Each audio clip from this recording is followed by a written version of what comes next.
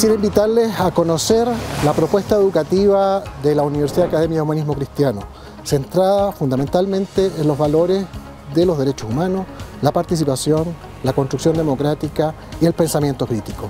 Estos elementos son fundamentales para una carrera de proyección en el siglo XXI, que tiene que ver con hacer carne aquellos valores que permiten la convivencia democrática.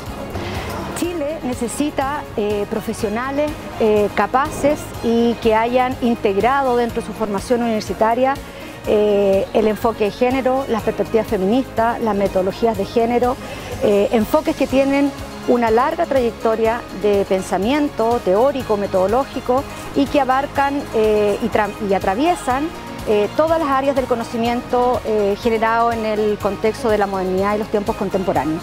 El arte que nosotros enseñamos es un arte inserto dentro de la comunidad, un arte político, un arte transformador, un arte que convive con las diversas comunidades, con las diversas expresiones, un arte que respeta, un arte que valora, un arte que transforma socialmente.